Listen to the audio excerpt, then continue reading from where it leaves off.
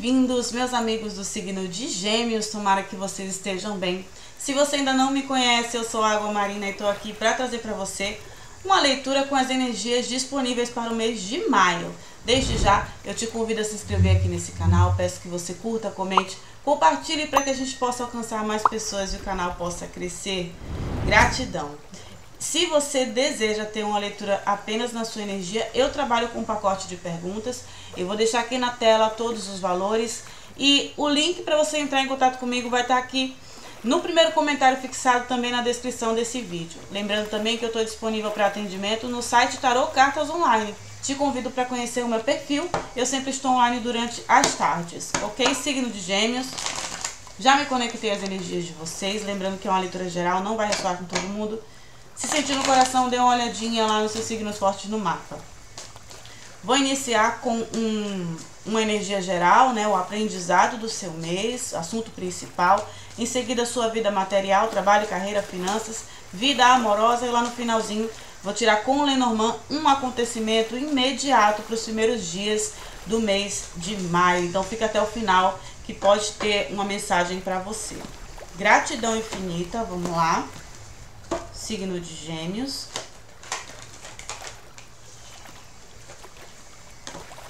Abrimos com a carta do fardo. Tem uma transição aqui. Uau, o sucesso. Dois seis, né? Energia do número seis muito forte.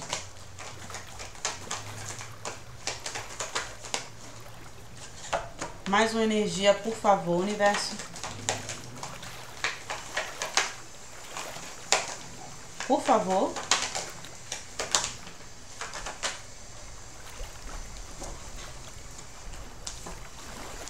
A rainha de paus, o compartilhar, Ares, Leão ou Sagitário, forte no mapa de vocês, ou vocês lidando com alguém assim. Mas o que eu vejo aqui é vocês saindo, ó, a carta da nova visão e a carta da coragem. Eu amo essa carta da nova visão no tarot do Osho, que ela representa o enforcado, né? A carta do de pendurado, só que ele ele já passou pelo processo de auto sacrifício. Ele já alcançou a iluminação.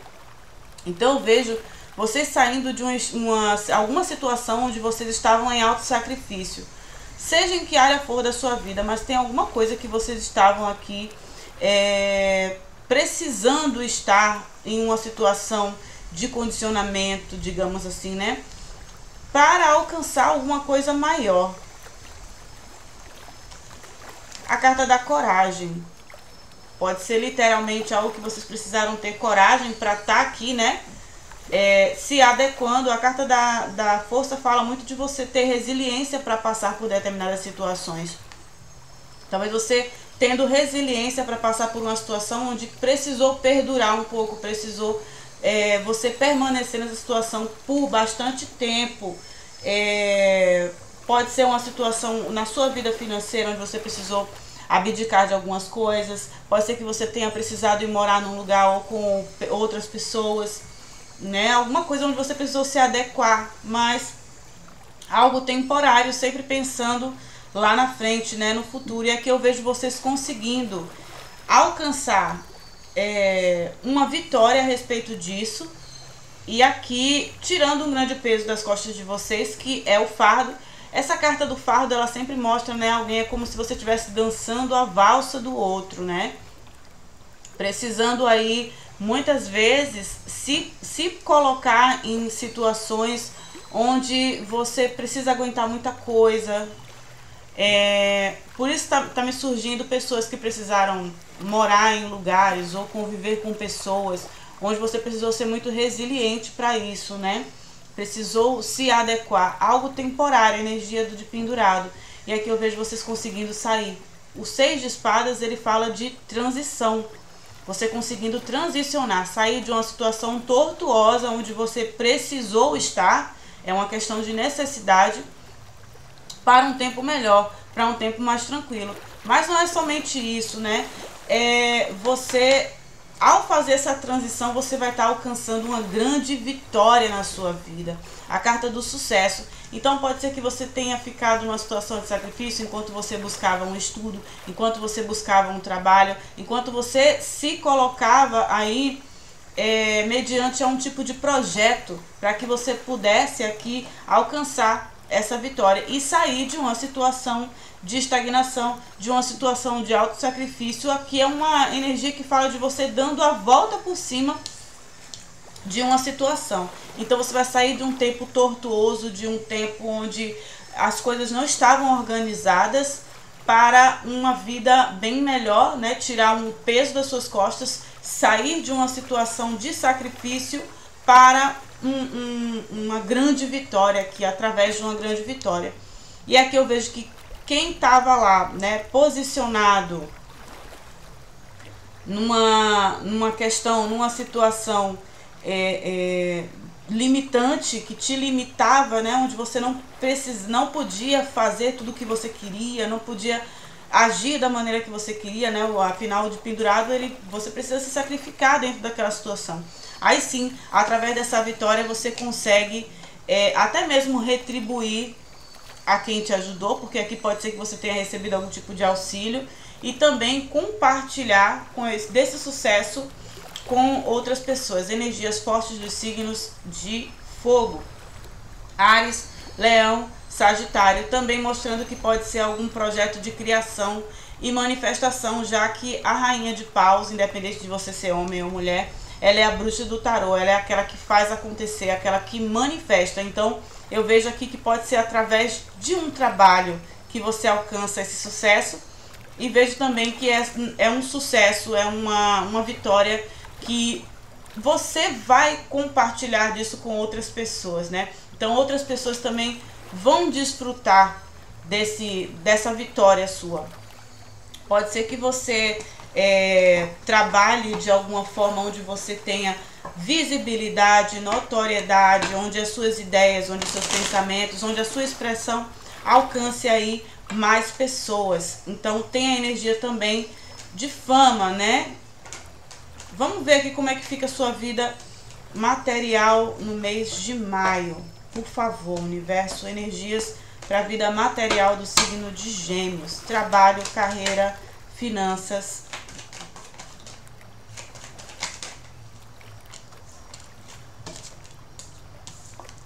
a lua. Olha quem tá aqui. O dependurado. O cavaleiro de ouros. E os seis de ouros caíram aqui, eu vou aceitar. O Pagem de Ouros, que são as notícias financeiras chegando para vocês, e a energia do Seis de Copas, que fala de sonhos sendo alcançados, né? Talvez aqui algo destinado para vocês. E aqui o que é que eu sinto? Vocês recebendo notícias financeiras. E, e acredito que tem muito a ver com essa energia principal de ter um reconhecimento de alguma coisa que você se dedica que é um sonho para vocês, né? Um grande sonho sendo alcançado aqui. E aqui eu vejo é, vocês conseguindo expandir, né?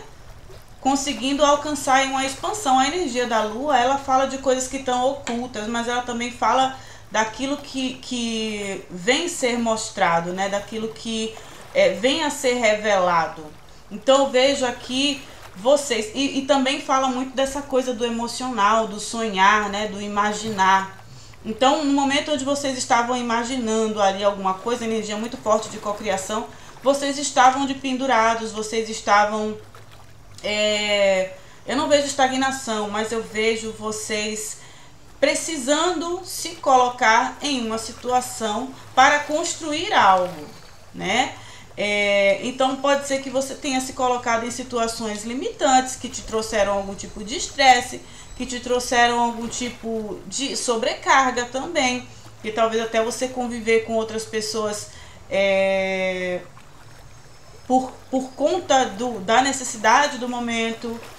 É, e aqui eu vejo que vocês tiveram muita paciência para construir alguma coisa, mas enfim, né? Isso que vocês estavam construindo ou estão construindo, porque não é porque vocês vão alcançar uma vitória que vocês vão parar de construir, porque a rainha de, de paus ela é aquela que continua fazendo, né?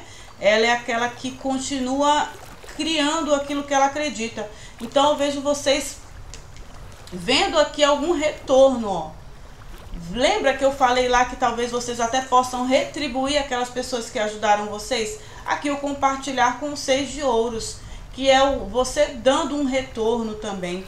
Aqui fala de uma energia onde você tem um retorno financeiro por aquilo que você se dedica, por aquilo que você faz. Então, eu vejo lucros, eu vejo entrada de dinheiro, né? E essa energia fala que você até demorou para construir isso, para alcançar esse patamar, você abdicou de muitas coisas, você se colocou em determinadas situações, mas que vai valer muito a pena. No mês de maio você já vai ver aqui é, um dinheiro, né, um, um retorno financeiro que é muito justo aquilo que você se dedica, aquilo que você faz. E faz você sair de uma situação de escassez para é, é, te tirar aqui de um fardo, né? Te tira de uma situação de escassez para uma situação mais abundante, porque o seis de ouros é justamente quando você tem aquilo e você já pode retribuir, né? Vamos falar de matéria, vamos falar de real aqui, dinheiro. Então, você já não tem mais escassez, você tem abundância, né? E é uma abundância justa aquilo que você faz. É um é retorno pelo que você apresenta como serviço, pelo seu trabalho, e isso retorna para você. Agora retorna de uma forma muito justa, muito equilibrada e já fala de você alcançar um patamar na sua vida financeira onde você não está mais abdicando de nada. Lógico que você não vai sair esbanjando, mas eu vejo que você já vai conseguir compartilhar com outras pessoas, talvez ou com a sua família, ou com quem te ajudou, ou né, sair de uma situação aí onde você estava deixando de fazer algo que você gosta, deixando de comprar algo que você gosta, para ter essa abundância na sua vida, onde você já consegue fazer outras coisas, né? Então eu vejo é, um tempo abundante aqui no mês de maio em relação à sua vida material e financeira, carreira, reconhecimento aqui na sua vida material. Vamos lá para e muita coisa caindo aqui. Vamos lá para sua vida amorosa. Vamos ver o que, é que vem para Gêmeos no amor, por favor.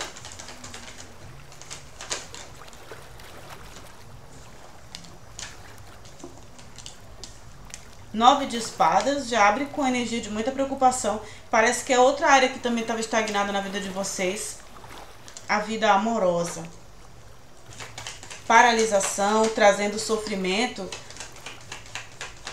Mas é uma paralisação também que ela fala muito de uma pausa para análise, né? Talvez uma espera, talvez vocês estejam esperando aí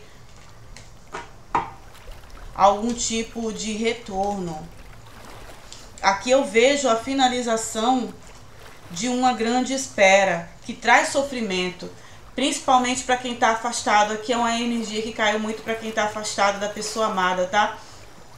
Você sofrendo porque algo na sua vida emocional ficou em aberto. Então, é, pode ser que alguém tenha te pedido um tempo, pode ser que a situação de alguma forma ela tá parada para que se faça escolhas, né? Eu vou, eu fico nessa situação ou não. acredito que a maioria tá querendo aí um tipo de reconciliação, mas isso aqui já tá chegando ao fim, né? É, eu vejo uma espera chegando ao fim. Um sofrimento chegando ao fim aqui através de uma reconciliação. Dois de copas. Então, a maioria que está aqui tem uma reconciliação para acontecer, tá? É, não vejo uma energia de pessoas novas, digamos assim, né? Eu vejo uma reconciliação acontecendo de uma grande espera para quem está afastado da pessoa amada, tá? Para quem tá solteiro, eu vejo você tendo movimentação na sua vida amorosa. Aqui mostra que para os solteiros pode ainda estar havendo aí um, um, apego ao passado, um sofrimento voltado ao passado, né? Mas esse sofrimento vai, vai acabar, né? Vejo movimentação. Aqui, três de paus, ou seja, se você está aí sofrendo por algo que passou, vejo você expandindo, vejo você seguindo em frente e deixando o passado para trás, abrindo aqui, né, possibilidade para uma nova pessoa entrar na sua vida. Dois de copas é a união, então, né, é, é reconciliação para quem está afastado e está esperando é para quem está esperando o retorno da pessoa amada e também está é, tá muito favorável aqui para que se conheça uma nova pessoa, mas fala de união, alinhamento, né? Então, se você conhecer uma nova pessoa, pode ser que você já engate um relacionamento aqui, tenha uma aproximação é, já no mês de maio, já se comece aí uma aproximação para ter um, um, um novo relacionamento aí. Comprometi a vocês, vamos ver aqui um acontecimento, um acontecimento imediato para o signo de Gêmeos no mês de maio. O que é que acontece aí logo nos primeiros dias, né? Vai variar muito. Vamos lá, signos fortes aqui. Vamos para os signos fortes, né? Eu não falei os signos fortes. Signos fortes aqui, signo de peixes, Ares, Leão, Sagitário,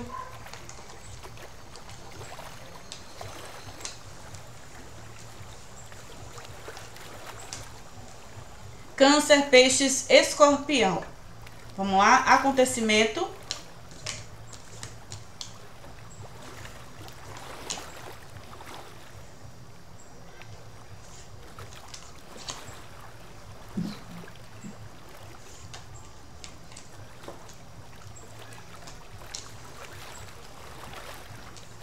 Aqui eu vejo vocês encontrando a solução para alguma coisa que foi perdida na vida de vocês, né? É, talvez aqui vocês saindo, encontrando uma solução para uma questão de saúde, pode ser mental, emocional, física, né? Aqui eu vejo você alcançando essa vitalidade através de um de um comunicado, pode ser um exame, alguma coisa desse tipo.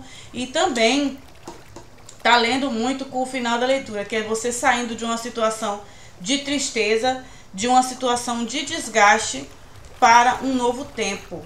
Né? Eu vejo vocês indo para um tempo de mais novidades, mais oportunidades, mudando a energia, a vibração de vocês aqui. Talvez isso aconteça onde vocês vão ter mais vitalidade, sair de um sofrimento para uma maior vitalidade. E isso pode ser através de algum tipo de descoberta, algum tipo de revelação que vem para a vida de vocês. Ou seja, você adquirindo um conhecimento que vai é, te tirar de um grande sofrimento ou de uma situação de perda ou de uma situação de escassez na sua saúde, seja física, mental, até mesmo espiritual aqui, mas eu vejo vocês alcançando aí mudanças, novidades, né? E a energia de vocês se renovando. Ok, signo de gêmeos, é isso que eu tenho para você no dia de hoje. Espero do fundo do meu coração que eu possa ter te ajudado de algum modo. Desejo para vocês um mês de maio abençoado. Que vocês fiquem todos com Deus. Beijo grande e até a próxima leitura. Gratidão.